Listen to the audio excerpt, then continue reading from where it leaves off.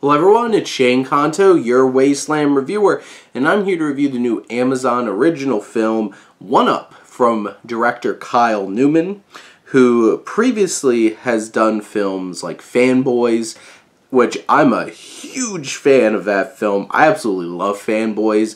And watching this esports comedy about a group of female gamers who wind up getting put in a position where they can't compete on the official team of their college, wind up putting an all-female team together of their own and go into competition about against their male counterparts.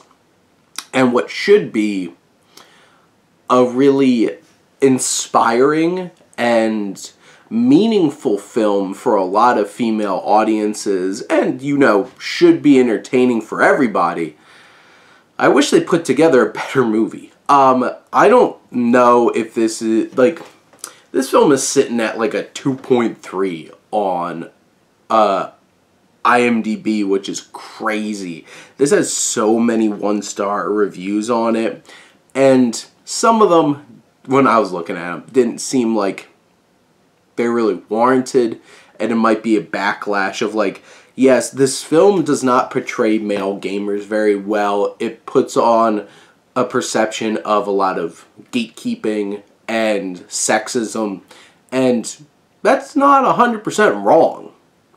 And, like, there's a lot of nerd fandoms, geek fandoms, gamer fandoms that aren't very inclusive. So, I don't think that's a bad representation of this, especially because I've been part of things like this. And it's just like, no, there's truth to that.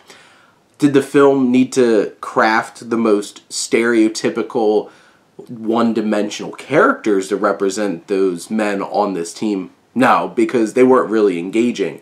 And I feel like I thought about Dodgeball a lot because th this is a sports comedy. Dodgeball is a sports comedy. Dodgeball would not have worked anywhere near as well as it would have if White Goodman wasn't an interesting character. He's hilarious. He is a piece of crap, but there like there's actual personality to him and characterization. These are just a bunch of cookie cutter assholes, really, and there's no depth to them. And then you have our female characters who we're really supposed to get behind, and some of them just like they have some of the most horrible dialogue and cringeworthy dialogue to try to make work in this film. And you have Paris uh, Berelc, who plays Vivian, our main character. She's the most normal of the group and the most straightforward, and she's doesn't have a whole lot of depth either. She's a really stereotypical like main character in a sports movie, sports comedy movie. Um, Hari Nef, who plays Sloan, her best friend, she's great. She has a lot of personality. I really enjoy her in this film, and she really stands out. But, like, she even has some not great dialogue that she tries to make work. And then I feel like a lot of the other young women on this team are just fed these uh, ridiculous, over the top, obnoxious roles that are really hard to find any grounded work in. And like some of the banter back and forth between these two teams in the first two thirds of this movie are so cringeworthy that you're just like, ugh, this isn't funny. This isn't funny at all. And I wish that they approached these messages better because obviously they basically just scratch the surface and just offer up like, hey, obviously there's tension here, men versus women that's all we need, right? And then people will get it. There's no nuance here to these messages or anything, and this feels so stereotypical.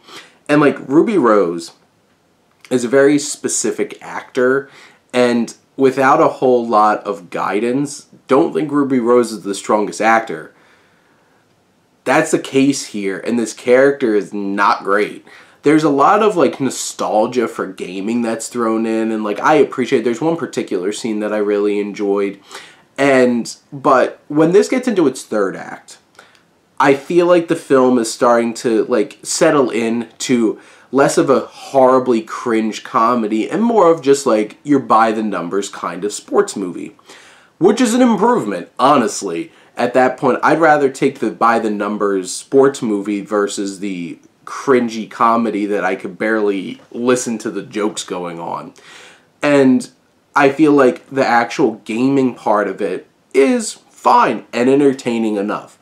They do have a few moments that do stand out that I really appreciated. It tries to get across certain messages too, and I think they work fine. There's one there's one moment with one of the characters and it's ridiculous and absurd, but it's actually pretty funny and I bought into it.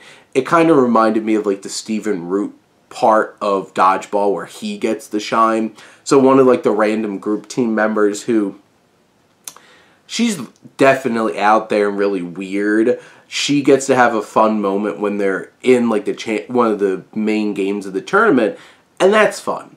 In general, this film has some elements that work, a lot of them that don't, and is not the best sports comedy. Like not even close. Like this is something that I was pretty disappointed in, and like especially for where you have players that are on like that's on Paramount Plus that I think is a really fun and interesting mockumentary about like esports and stuff like that. I feel like this film kind of took the most lazy route to it and then tried to throw in cringe comedy that just did not land. So in general, wouldn't recommend this really um, unless you're like a really die-hard gamer and you want something. But from what I could tell, at least with a lot of the reviews on IMDb, a lot of die-hard gamers hated this. So I don't even think that this is going to really work for like die-hard gamers either. So I don't think this is really going to work for anybody. And if they're going to make more, like in a world where a League of Their Own exists,